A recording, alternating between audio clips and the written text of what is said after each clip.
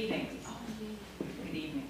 It's my great pleasure to welcome you to tonight's program, a talk by Betsy Barlow Rogers on her latest book, Saving Central Park. I'm Carol Malone, chair of the Board of Trustees, and one cannot overestimate the intrinsic part that Central Park has played in most of our lives, particularly in the lives of members of this library.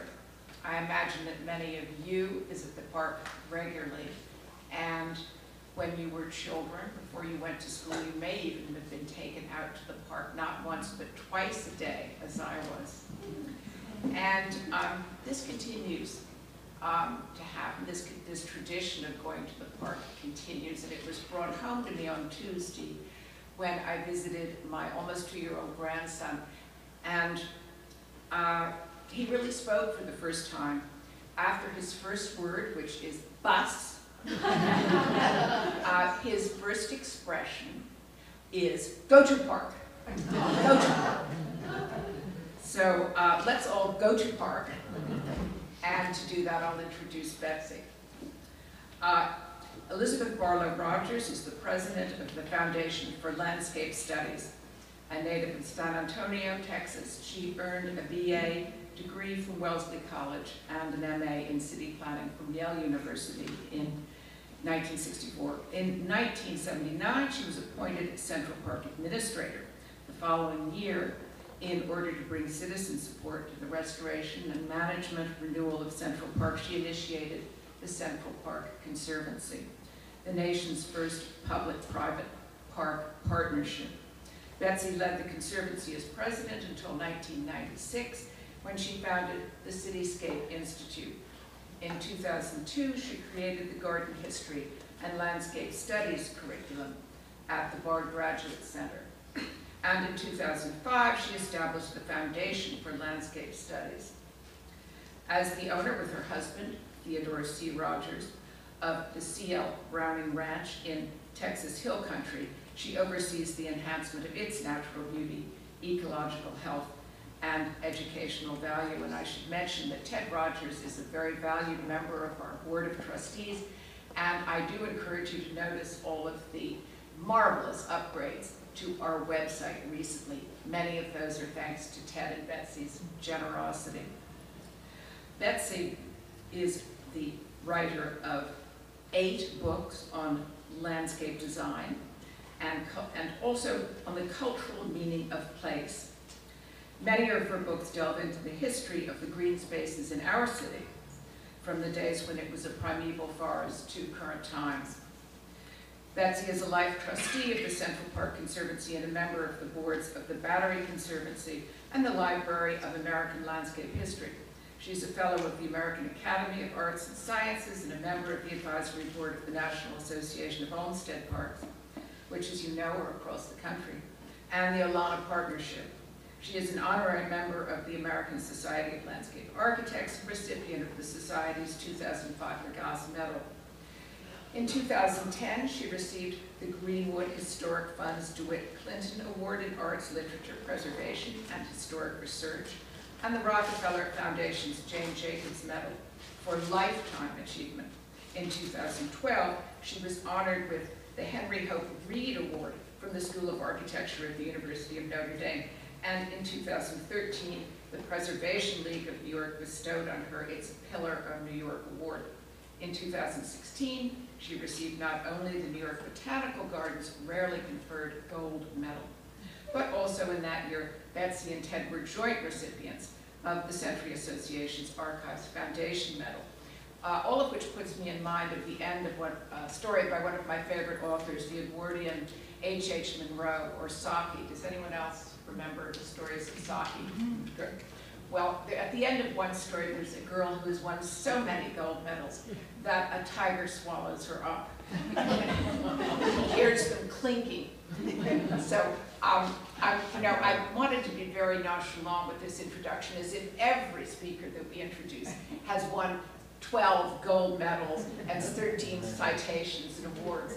But, you know, it's really not the case. So we're very honored indeed that Betsy has come back to us for this evening. Thank you.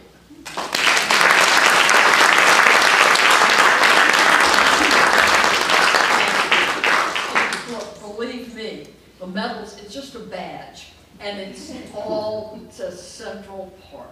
I'm a representative of the park.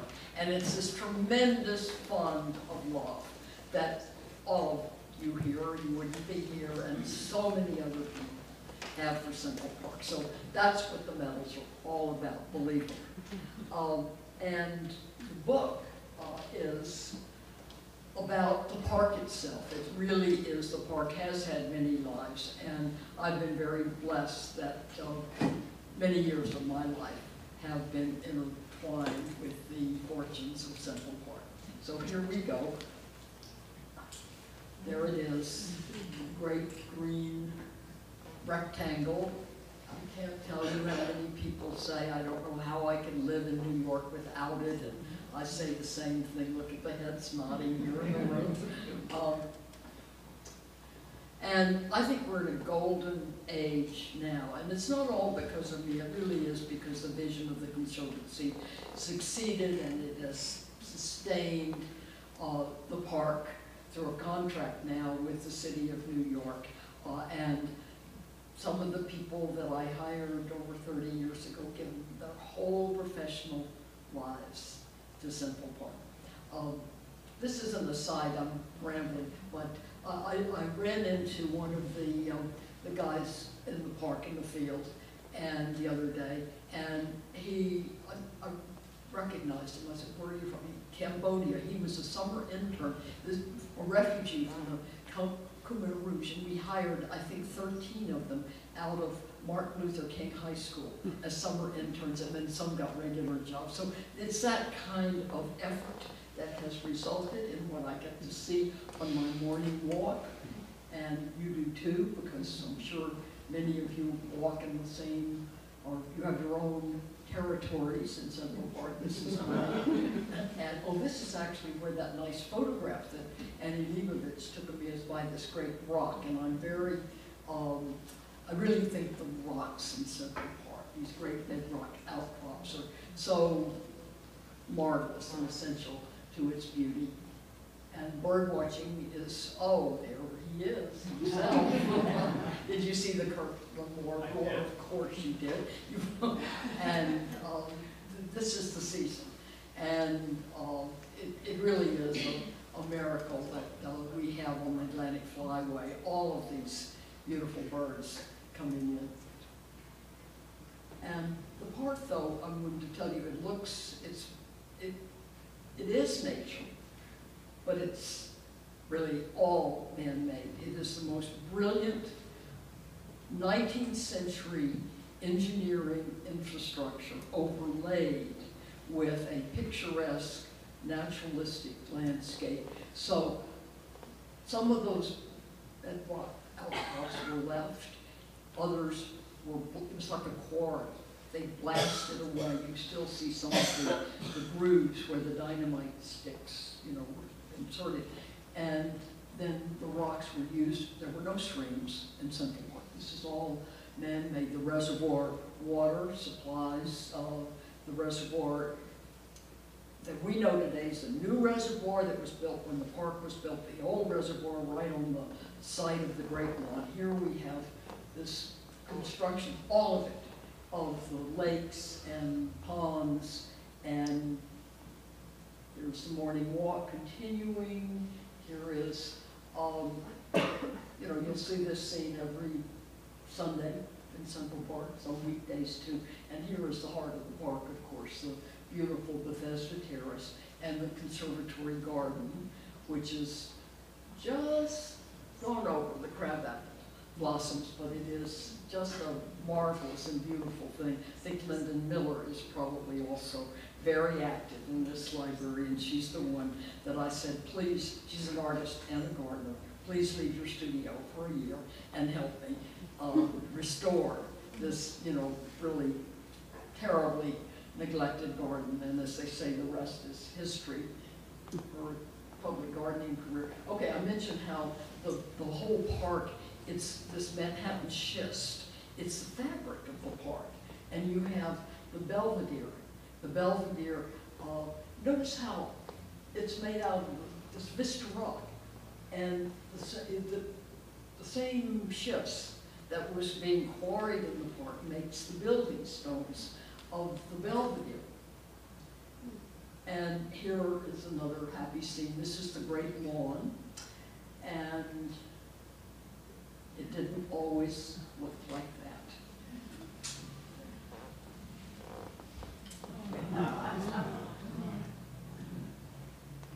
Do you remember, you know, when I, uh, th- this audience is mature. No. I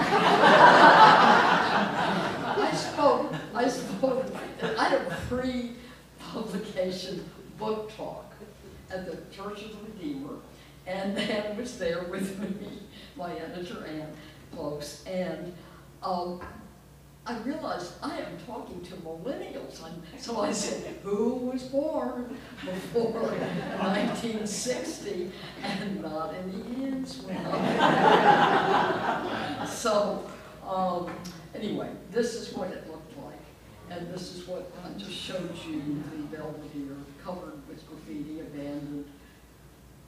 There's the great lawn, great, I mean, excuse me, the sheep meadow, also a dust bowl like the great lawn. Here is the sheep meadow, I think some weeds, when, they, they greened up a little bit, but they're all weeds, just like the blade of grass. And those are the Heckscher ball fields down in the south end of the park, all eroded, everywhere erosion. You have the uh, tree roots exposed, all that soil uh, eroding, filling the drains.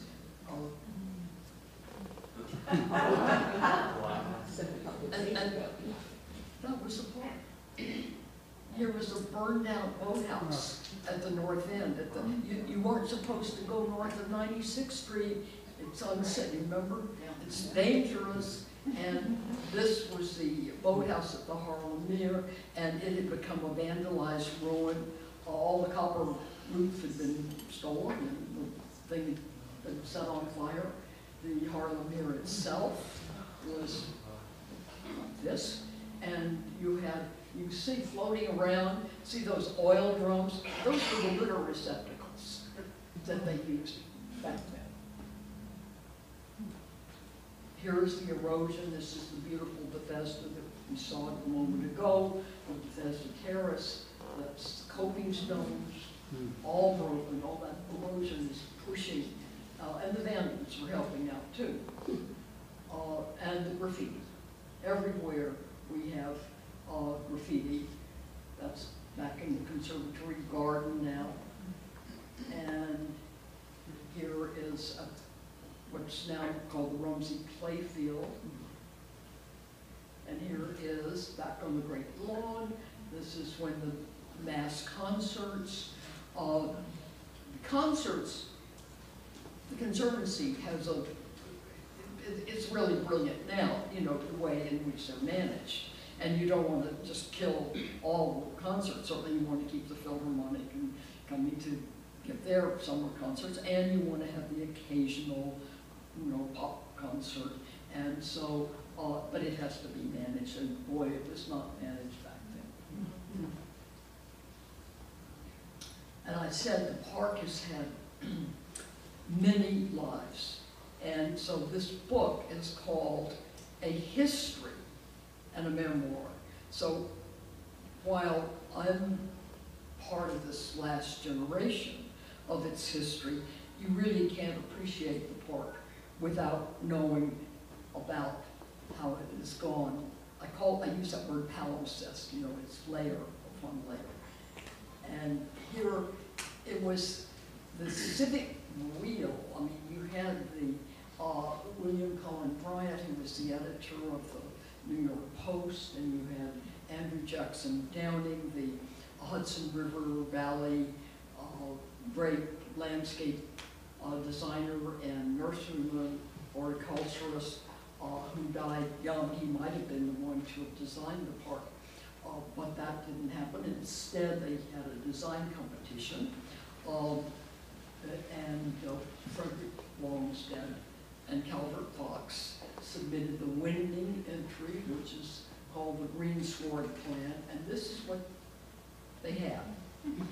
This was the ragged fringe of the city. City was still mostly below 42nd Street, and this was kind of a no man's land. Uh, it had squatters, of course, it had, it did have uh, a settlement called Seneca Village. Uh, it had bone boiling works. Uh, that's where all the carcasses of the animal, you just think of a city with no motor vehicles, but all, you know, horse-drawn carriages, and then you had, you know, the offal from the butchers, of, you know, we won't go, it'll get too disgusting to talk about, but there you had, they would boil the bones and make buttons and things like that, I think. Um, and this is the greensward plan, and this is the design that has, um, governed, uh, the park throughout its, its life. This is the park, uh, but not as the way we know it today. Uh, it was created, as I said, totally man-made. Bringing back the Greensward plan, you'll see, this, this is, you can't replicate history, you can't go all the way back, but the spirit of it, the scenery of the park is the principle that we uh, fought for. Uh, So here the park is under construction. I mentioned this brilliant um, 19th century engineering technology and all of the water bodies being created, the marshy areas being excavated, and the, um, I'm losing my words, I'm sorry. There's the boat bridge in the background and the lake, uh, which is totally man-made. And the whole idea, they use the expression rus in urbe, meaning country and the city, you were meant to feel that you were actually out in the countryside. And the sheep meadow, Robert Moses, we'll get to Moses in a moment, and how the sheep got eliminated. Um, You had the, um, rustic gazebos and rustic bridges. Uh, This is a vocabulary of construction that we did bring back, uh, and you see those rustic railings now and rustic arbors. This was torn down, that's where the Chess and Checkers house is today. And uh, the idea was, of course, you would have viewing rocks. You would get on top with, and there would usually be this kind of lookout. And like the rustic summer house I just showed you, and so it's about scenery, it's about the views, and it's really about movement, moving through this landscape. And what's really amazing is that they created a circulation system where there was no intersection between different modes of movement through the park. So you had the pedestrians being carried over the bridle trail on these beautiful cast iron bridges and under the carriage drives through these very handsome stone arches. And you have what's the most amazing of all, the first example of grade separation of traffic with the sunken transverse roads. So the design competition called for four roads, east-west traffic, to allow that to go across the park. And that would have made essentially five parks, because it would have broken it up. And so they, Olmsted and Vaux, the box, sunken transverse roads, here's Manhattan schist, you know, again, the big blocks, you know, forming the embankments. And today, you're, you're hardly aware of them. They're there, and you never feel the presence, you will hear the, you know, little bit of traffic noise, but not much. And I, the park is never finished, of course, no landscape ever is, but you can say around eighteen seventy-three, I think, is when we, um, nobody declared it was finished, but it looked like this. And so this is the implementation of that greensward plan. Wow. Who's that? And uh, what happened is, and, and you have to really realize that landscapes are, and this book is about cultural history as much as it is about uh, design. And the ethos of recreation I've been talking about scenery, and I've been talking about the importance of bringing back the beauty of Central Park and, and the scenic qualities that it had. However, uh, recreation, physical recreation, was very important at the turn of the century, and so the idea that you would have, um, people could play ball, they could begin to, you had lawn tennis even and things like that, but it really, um, there, there were some really cuckoo, uh, proposals to do a racetrack, to do an aerodrome, to do this, to do that, I mean, you know, the attitude toward the park. There was no, you know, preservation ethos, and it survived all of that, and so here it does welcome some athletic uh, facilities, but this is the guy who really facilitates recreation with construction.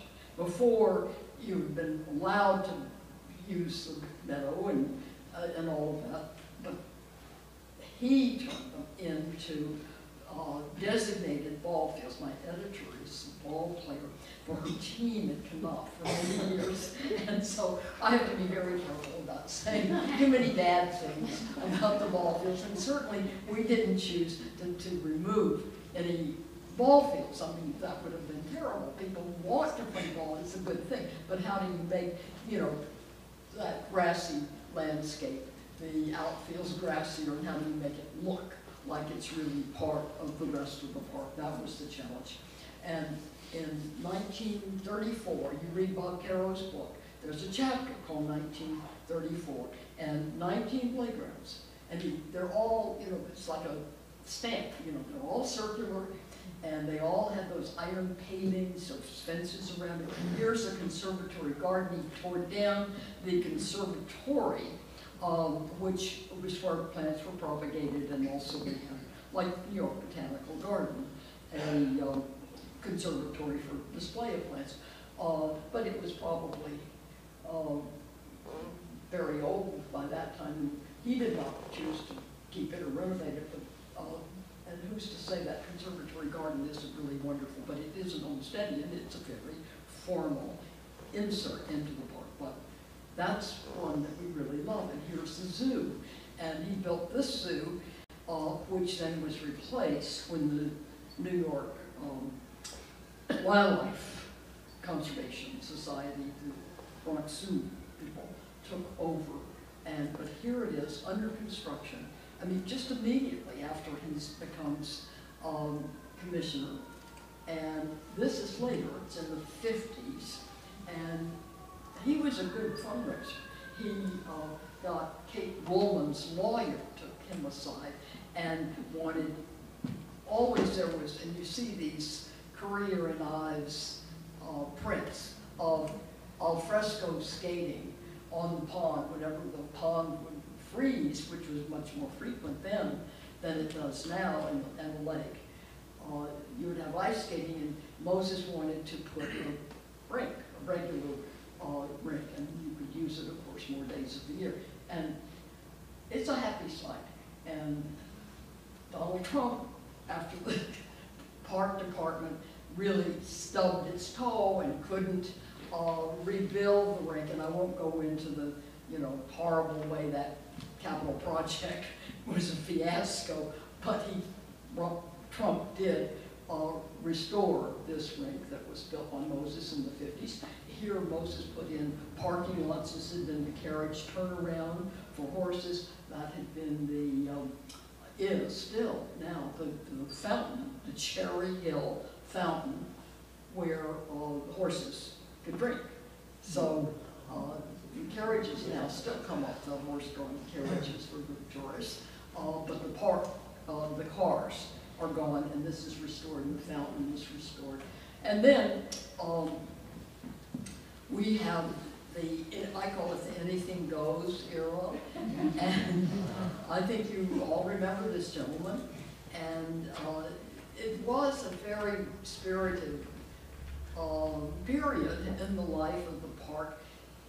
You, uh, it was, the whole society was changing radically. And as I said earlier, uh, this is about cultural values and certainly the upheaval that we as a society experienced in the sixties and the seventies uh, was manifested in the work that was really helped along by Tom Hoving.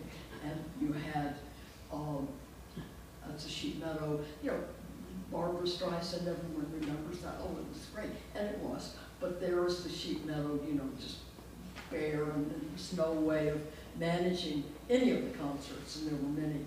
And here you had the protest marches, you had the happenings, the be-ins. This is not my photograph. I took a lot of photographs, but the last two are by the great photographer Garry Winogrand. And he, um, I saw this at the Metropolitan Museum uh, in the photography show, and I thought, well, that sums it up. We were able to obtain the rights to publish that. And there is Pollyanna. And I think my daughter took that picture, I believe. Uh, and there I am, and this was a really happy time in my life, and I'm out there weeding with my teenagers. Now, how did that happen? A lot of you remember, um, probably Adele Auchincloss, the wife of Louis Auchincloss. And Adele was a young parky like me, and, and we got to know each other. The civic group called the Park Association, which now is called New Yorkers for Parks, uh, we met and became good friends. And so, when um, uh, Abe Beame, um, whose name doesn't resonate in history, mayor, uh, right after John Lindsay, the city was in dire fiscal crisis, and uh, he appointed uh, somebody who'd given him a handsome campaign gift as a party. I call him the Playboy Commissioner. Uh, and uh, he would go to parties and invite this one and that one. And so there is dear Adele sitting as a deputy commissioner, and you know, no job description at all. But Adele uh, has wonderful connections with Brooke Astor and Iphigene Sulzberger, and um, it was wonderful because Brooke gave a grant, the first grant, you know, for this Central Park Task Force. And the idea, this is where, uh, even before me, the notion was that you could have a plan to restore uh, the park. Uh, and then they had some, well, Iphigene gave uh, money for the um, summer intern program.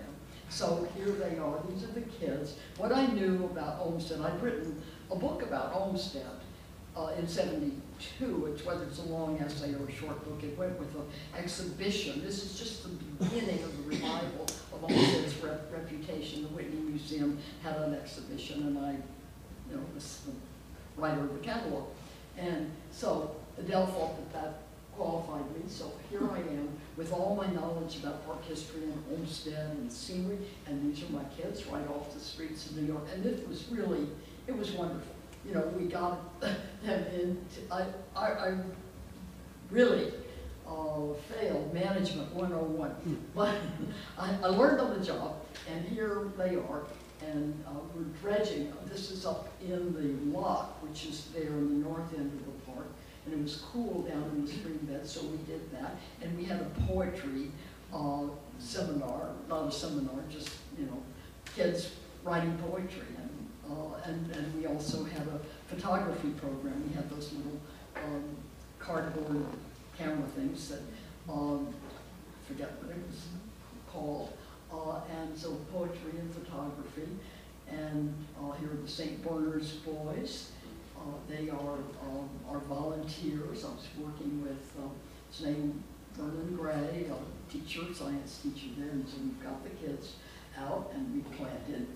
And then Koch is elected and Gordon Davis is appointed his first park commissioner. Gordon sees um, this little stuff going on in the park that I'm doing, and um, he, I had a little office I managed to get in the um, arsenal, in the park department, so I'm already, you know, with a foot in the door. And Gordon then uh, is trying to clean out the dead wood. The park department first of all, the workforce out in the field is demoralized, but then in the department itself, I I call it the dead wood, I mean, if, if uh, patronage jobs, if somebody at City Hall had a mistress, you send her off and give her a job who works, and, and on and on. So, uh, he is trying to build an administration, and so he sees what I'm doing, and he realizes that it's very important to decentralize management, and that you need people that are responsible for specific parts of the park system. So he said, would you like to be in charge of Central Park? Wow. And so I said, yes. He said, what shall we call it? We said Central Park Administrator. Now, a year later, Prospect Park got an administrator, we got borough commissioners, and that uh, began to make a difference, but I got no budget. And I knew that what was really critical and important, and Gordon helped me a lot, and then meeting Bill Beinecke, who was just stepping down from being the CEO of his family company, S&H Green Stamps, agreed to be our chairman. And Bill had connections, uh, not only within the philanthropic world, but also uh, within the world of corporate America. So he began to help build a board. I knew we had to have a board. I said, you know, it's very bold. You know, it has to be a board, like the American Museum of Natural History or the New York Botanical Garden, if you're going to raise serious money. And really, this little task force I had support. And I was learning, instead of writing books, to write grant proposals. Here um, is um, the uh, beginning of, of where I'm being appointed.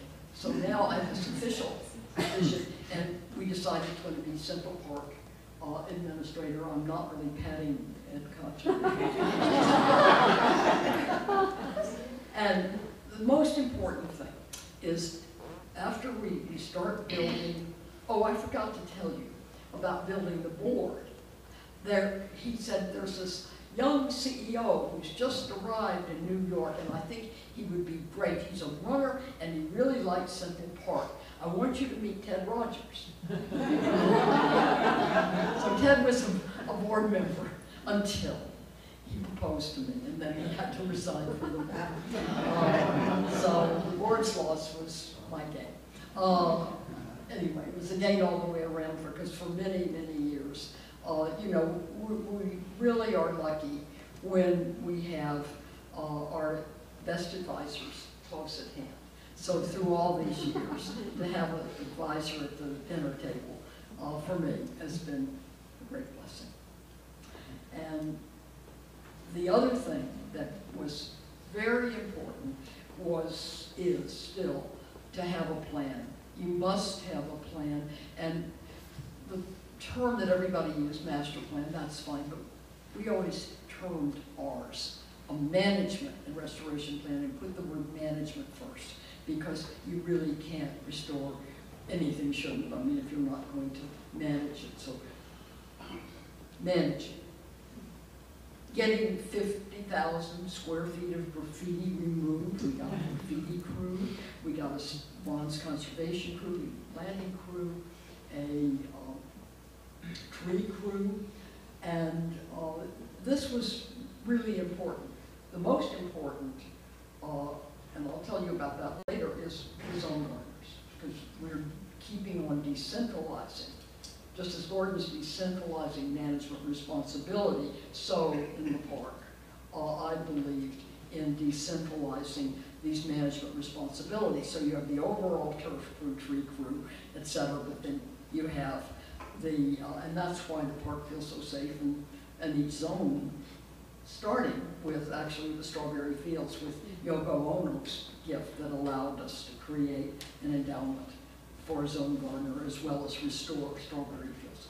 Okay, the, the most um, significant symbol, I think this was very symbolic, was the Bethesda Fountain. Because the Bethesda Fountain is right in the heart of the park. It is the, the, the one grand feature. You have the mall and you drop down to the Bethesda Terrace, and there's the fountain, and then it melts back into nature. There's the Ramble on the other shore, and restoring that was very important. I showed you that, all that broken coping stone, erosion had pushed down, and uh, the broken, the graffitied uh, stonework there. You can see how the birds' heads, they had all been knocked off, and we had a sculptor work, and we were able to replace the, um, you know, some of this gorgeous ornamental stonework. And up in the north end, uh, this happened not immediately, but we always said, people would say, what are the most important projects you have? And I said, well, the heart of the park is Bethesda. And then I said, the north end, it's really important. People said, 96th Street, you know, that's the line, you don't cross it. And I said, we do, the park goes to 110th Street. So uh, that had to wait until we got the Meer dredged and uh, the gift from the Charles A. Dana Foundation to build this wonderful environmental center uh, in the north end. And look, I mean, I'm very proud, we have, another thing, architects will maybe just put a building, you know, they have a site, put a building. Well, no, you have to work with your landscape architect, so it's siting the building, and I really love the way that uh, our team of landscape architects and the Conservancy worked with Sam White of Buttrick White Burtis, and this is the result. And now, I am frequently, I was frequently called an elitist. I mean, really, a lot. And this is not a West Side audience, uh, like the one we had at Barnes and Noble, which was a wonderful, wonderful audience too, and passionate because they also just care so much about the park. But really, uh, the symbol that the rich people are taking over the park, I'm the symbol of that. And so, forget it.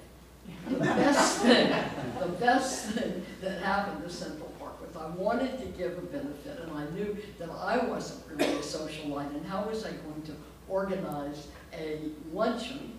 And I was really lucky because I found um, Norma Dana and Phyllis Wagner, Jean Clark, Mark Mill, Maggie Purnell, and they formed the Women's Committee. And my mother was behind me, and my mother was a real dresser, and she says, you must look the part. She sent me beautiful clothes, and it gave me her designer dresses, her hand-me-downs. And uh, then Gordon leaves, and here um, are the rich people and the elitists and me, and, and Gordon inherits, uh, the, I mean, excuse me, um, Henry Stern in, inherits the conservancy that had been formed in the prior administration by Gordon. So we have to form a relationship, Henry and I, and it became a long relationship because he served uh, under, in two mayoral administrations, uh, in uh, Koch's, the rest of Koch's term, and also in the Giuliani administration. So, um, it was a relationship that, it is a friendship. It's like an old marriage with lots of marital spats, but it really is enduring. And there is Henry, there is um, Ed Koch, and me, we're walking along the Great Lawn. And later, we have Ira Milstein becomes our third chairman. We have Bill Beinecke, then James Evans, another retiring CEO, uh, and in those days, you know, 65 seems really young to me now. And, uh, but 65 was retirement age, and if you got somebody who was, real- look at the heads nodding over there, that was experienced uh, in management in corporate America and had good connections and, and uh, generous friends, that was great. So uh, the third chairman is Ira Milstein, and he's a lawyer, and he then looks at me, and this was like my mother you know, again, this is generational, and people who are living out of wedlock, you know, they were shacked up or living without benefit of clergy. And so Ira looks at me and he says, you mean you're doing all of this just on a handshake? And we were. I mean, that was, we had wormed our way into the park department, and it was a thriving public-private partnership, and we were raising money, which gave us some, you know, a bit more status and power. Uh, but we had no contract with the city, so, uh, and that really took a long time, but Ira was great negotiating that contract. Uh, and finally, and this was actually a couple of years after I left, the formal contract that the Conservancy raises the money to run Central Park. It does get a cut of the concession revenues. Finally, the revenues go to the general fund, but the Conservancy gets part of, of that. And so that was a wonderful thing that he did, and Mike Bloomberg uh, was always wonderful. He was a trustee, and then later, as mayor, he uh, did many good things for the parks of the city. Now, um, I'm gonna see if I can do this. Um, you know, uh, scenery, I keep going back to this beautiful nineteenth century scenery and how much we're trying to restore that and make the Robert Moses facilities and the scenery, you know, blend together better. And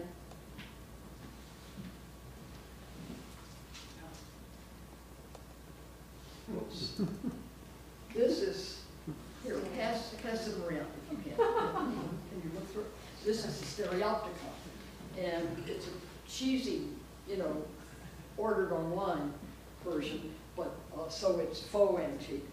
And you can look, and you can see, they're supposed to be, you know, your binocular vision, you know, you- you're supposed to see those two images, and they merge and look as if you're looking at three dimensions. And that's my way of saying that the park really, really is, a, a lot of it is about scenic space. So when I said that we had marital spats, Henry and I, I don't want to dwell on that because we, uh, you know, it, it truly is friendship. My relationship, I'm going to read you uh, just a little bit about it, uh, with Henry deserves further analysis, for it strikes at the very heart of the nature of public-private partnerships, the fundamental basis of this special type of institution lies in the necessary division of power between a public agency and a private organization. Accord and cooperation are implicit in the word partnership. And this alliance is weakened if harmony is breached too often. Power is a matter of authority, and there are two ways to gain it. It can either be conferred or won. In Henry's case, it was conferred by the mayor. In mine, it had to be won by public endorsement of the Conservancy's vision to rebuild Central Park. Here is precisely where the friction lay. As the Commissioner of Parks, Henry was my boss as far as my role as Park Commissioner. My city position was concerned. You'll see I'm not very good employee material, but anyway. uh, However, my presidency of the Conservancy, along with the fact that this private organization paid my salary, gave me a degree of autonomy. Autonomy, however, is not the same thing as authority. Because municipal park, this is an important point, because municipal parks are public property, authority rightfully belongs to the mayor and the park commissioner. Thus, within the terms of the public-private partnership, the city's power is preeminent. For me, this meant that implementation of the elements of the plan that the Conservancy wished to undertake as private funds became available had to be enforced by Henry. And so he's a Moses guy, and, and, and he's, he's political, and I'm an aesthete, or not only an elitist, an. We're thinking about scenery and, and beauty, and, and here is the band shell that has, was put in to the park by Elkan Naumburg, and this was back much before Moses' time. And uh, it was, this is actually thirty-four, Moses was, you know, just taking office. But wonderful, wonderful summer evenings, if you read E.B. White's Here is New York, you know, you'll see the mood of that place, and it was, it was, it was wonderful. But by the time this thing was shabby and broken and covered with graffiti and the wisteria pergola, we had just restored that, you can't even see it, it's, you know, behind the band shell. And uh, it was a hideout for drug dealers back there. And uh, so we wanted to put the music stand, where the old music stand had been, build a new one, uh, and remove the band shell. And the Naumburg family didn't feel happy, but they agreed, and we had a beautiful memorial, you know, sculpture designed of granite to commemorate. And then, uh, landmarks approved it, said it's not handsome, you know, valuable, it's concrete. Uh, piece of Beaux-Arts architecture. So we were ready to push that through, and then uh, all hell broke loose, and uh, a young relative, now the relative, uh, decided that this was his cause in life, to keep the band shell. And you remember the pink paper, the Observer? Well, he had a good mouthpiece there, and he managed, and finally bring us to court. I mean, it was, it was really a nightmare. And Henry stayed right on the fence, you know, because he's a political cat, and he, you know, is just gonna let it play itself out, and play itself out it did. But the park is big, and there were lots of landscapes, and as I say, an enduring friendship. But uh, we did, park was getting restored in spite of two big fights, and that was the band shell and the tennis house. And so I do feel that this can't just be a book all about a big success story. I wanted to tell uh, the story of, you know, troubled waters, as I think I call that chapter. And then, uh, at the end, uh, I call the last chapter Saffron Celebration.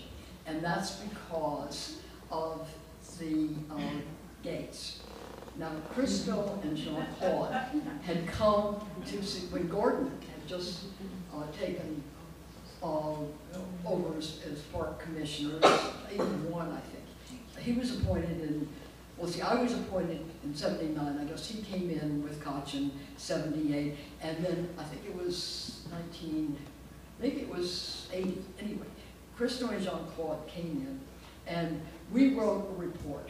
Gordon authored it, and I contributed a lot to it, and it was, you know, big, uh, legal, uh, document that said that the park itself is the work of art and that we don't want to impose on it anymore. It's not just there.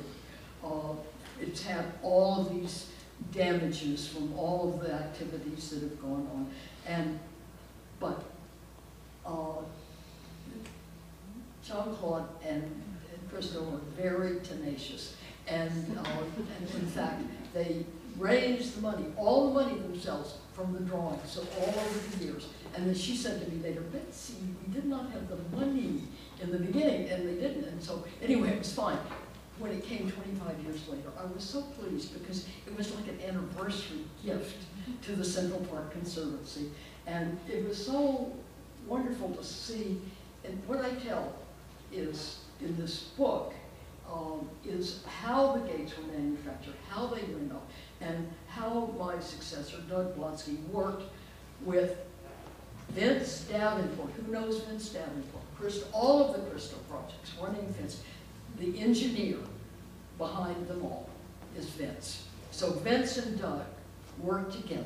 And so this whole fabrication of the gate and installation and recruiting of all of those volunteers and Christo groupies, you know, that worked on other projects, and how that was uh, brought about was, it was really terrific to watch, and that's the story I tell.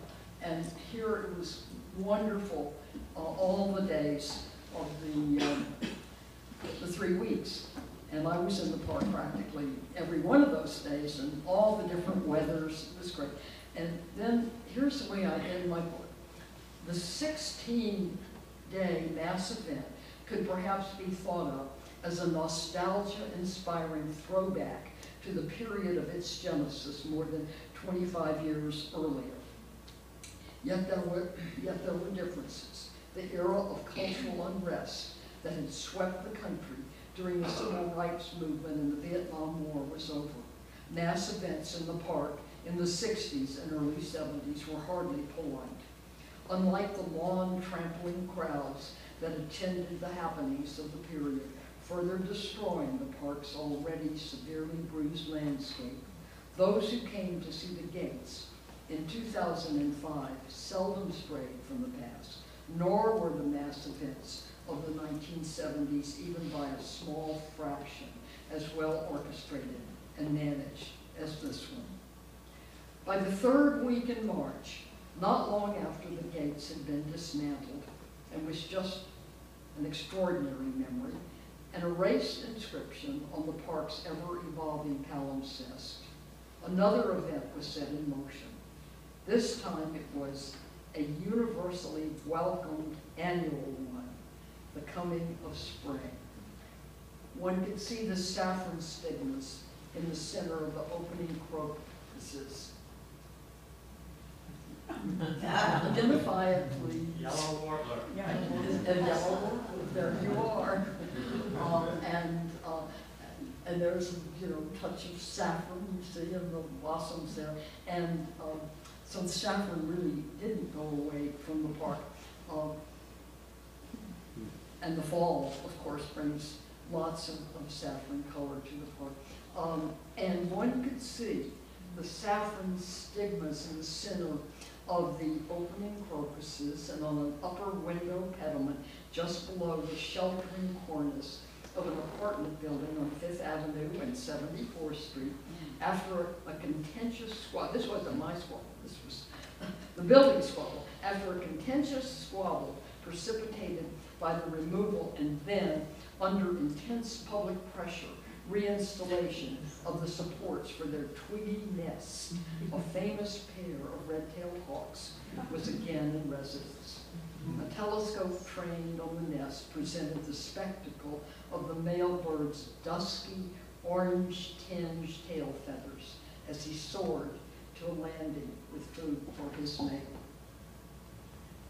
There's a bit of orange I threw in, sort of orange, pretty bad, uh, because uh, this is the, um, the most beloved monument in Central Park. It's just not a brass statue or sculpture, it's the Strawberry Fields, uh, memorial to John Lennon.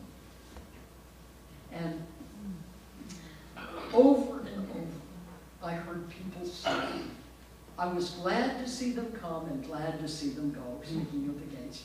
Often they added, it was good, it's good to have the park back. On March 27th, Easter Sunday, Central Park was as thronged with visitors as it had been on every day when the gates was on view. I was one of them, and I too was glad to have the park back as if it had ever gone away.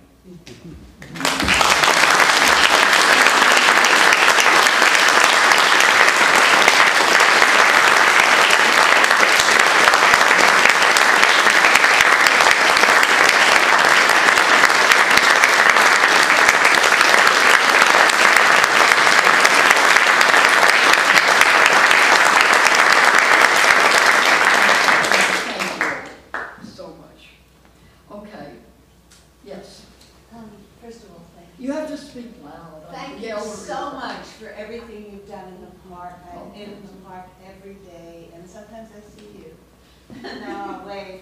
But I always wondered how the Metropolitan Museum got to encroach on the park. It's always troubled me. That, that's, that's a good question, and, and actually, um, I was asked that last time when I gave on the website, like this, a similar talk, this is impromptu, and it's all for you, but, uh, the, um, Metropolitan Museum, if you go inside and you know where the Petrie Court is, and then you look, and you recognize the Victorian architecture there, and that's the facade, and Olmsted and Vaux, they thought of it as an encroachment. They didn't want buildings in the park. Scenery, scenery, scenery, as we've been saying. Okay, so, uh, but New York, just as all that civic pride, they wanted a great park, they wanted a great museum, and it was placed in Central Park. And who's to say that we don't love it, and that I, you know, walk across all the time, maybe as much as once a week. Uh, but, uh, the encroachment issue is really a good issue. And many, many things have been proposed as encroachments, and it was impossible to, uh, again, what, this was not a big fight, but it was a, a pushback, and some of us really felt that we were just starting to restore the park.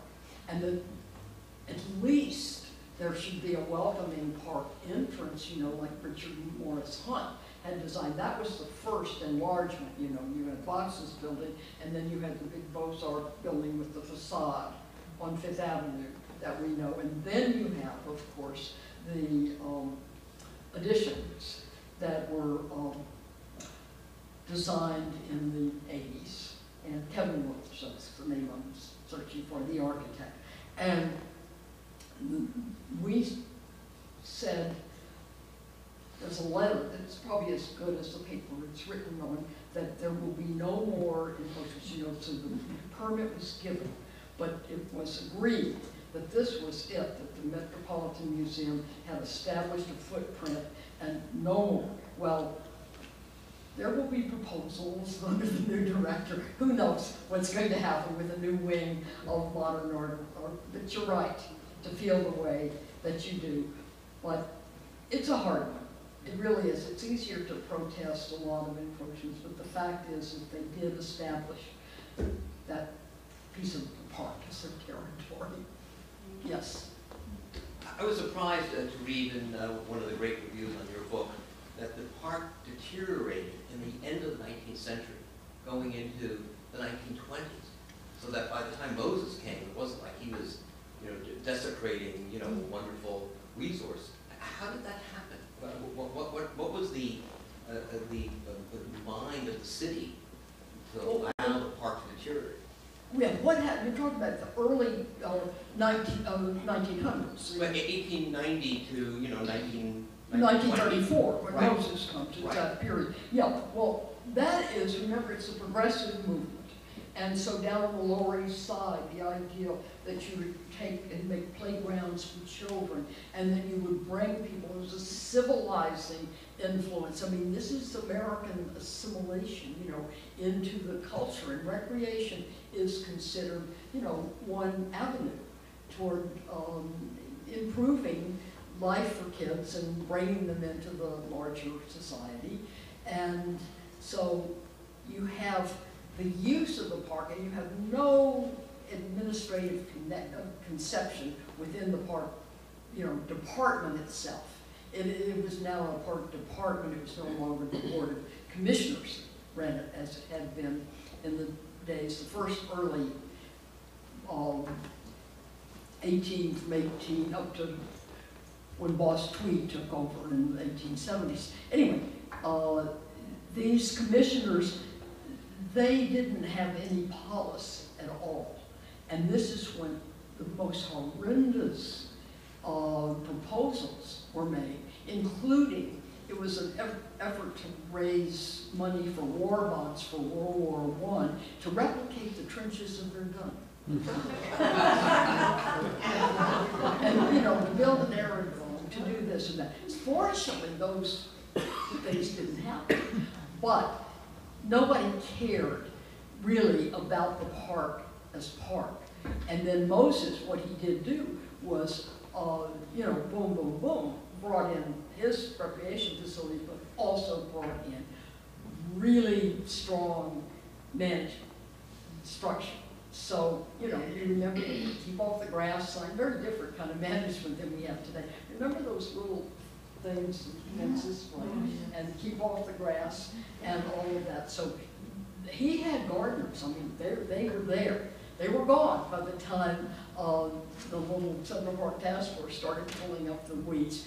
Uh, and the, um, park, uh, it survived, but it was also this change in the, as I said, the cultural ethos that was going toward recreation. And then, uh, the Depression, think of how great it was to have, um, you know, not only talking movies, but also to have a park that as a playground for the people.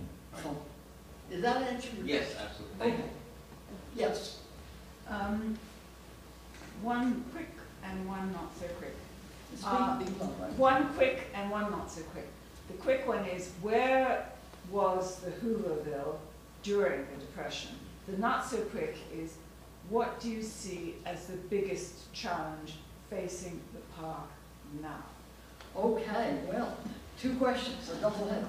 So, uh, Hooversville is where, what this, we've just mentioned the Depression, that's what brought it to mind.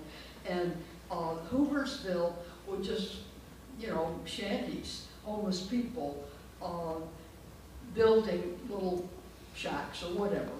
Uh, on the, uh, what had happened with the Great Lawn is today, they'd taken the old reservoir, remember I mentioned the central reservoir was a rectangular reservoir, and not the reservoir that was built at the time the park. And so that had been already decommissioned, and it had been, I think some soil had been put in, anyway, it was still rough though. It didn't have any design, uh, and so it was Hooversville. I mean, that was just a place where they camped out. And then, again, there's Robert Moses. And so we get uh, the Great Lawn, and it's designed by uh, Gilmore Clarke. the- By this time, the landscape architects are not thinking picturesque scenery, they're thinking Beaux-Arts, you know, kind of spaces, and so you've got the oval. And um, I won't go any more on about design anyway. So the Great Lawn is where it was, to answer your question.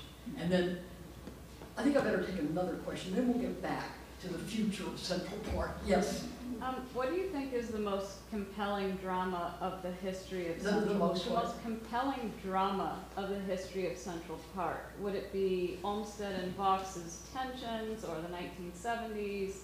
But what is sort of, like, if you were to watch this movie, what would you hope to see of the the the story? most dramatic Yeah, Um, well, you know, people to know the secrets of Central Park. Well, I, uh, I'm not a movie maker, so a movie producer. Um, but I guess, you know, what I thought was pretty dramatic, again, it was another thing. Oh, Bill Dean isn't here. He, he, he, you know, was fighting, uh, this too. Tom Hoving wanted to put a, um, polo field where the Great Lawn is. And he wanted to build stables, you know, right there, uh, where the, um, you have on the sunken transverse road, where you have the buildings by Vaux that are occupied by the police. Well, he was gonna build great underground, um, stables for the horses, the police horses, but also have polo playing where the Great Lawn is. That was his, his plan. And so that's a good one, don't you think? What's the most uh, horrible thing? Uh, Yes, Uh, question about security. Uh, growing up, the, uh, the, the expression was, oh, we don't go in Central Park after dark. Did you, your strategy and plan, did it have a specific security component? Or did the park just benefit from changes in the city overall? yeah, well, you, you can read about this. Again, you know, this, this is, um, this is a story in which, um, you know, we're living through, well, we're living through the AIDS epidemic, which is, you know, that affected uh, the life of the city and certainly Central Park, but uh, the jogger, the Central Park jogger incident, that occurred on my watch. And so uh, we had, first of all, I I mentioned just in passing, and I didn't dwell on this enough, we were putting together, you know, the zone management system, and now Doug Blonsky, my successor, the best park manager in America, who's just retired from being the president and CEO of the Conservancy, every part of the park had a zone. And it's, it's so much that was managed and, and, and looks beautiful and has, you know, ground covers and prune trees and it looks nice. And, uh, back then though, uh, it was happening, but it's still up in the ravine there where the Loch is. Uh, it, it is perfectly safe now, I mean, perfectly safe. But then she was dragged off the Hundred and Second Street transverse, and, and it, it was a, you know, it just rocked the city. Uh, And the, um, we- we had a, um, a blue ribbon panel, security panel. Uh, and then Ira Milstein, I showed you Ira a moment ago, who, uh, was the one who really pushed the contract with the city forward.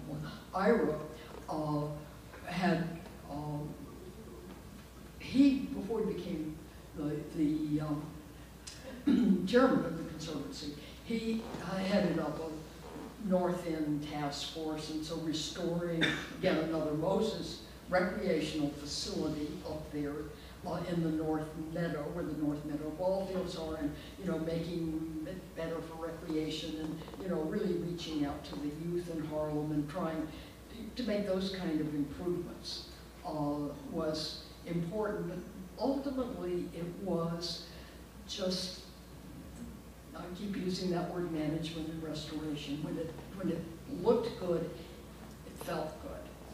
And people started, I mean, nobody hesitates to take a walk on, a wa- in the ravine and then through that Loch, as it's called, the stream that runs through it.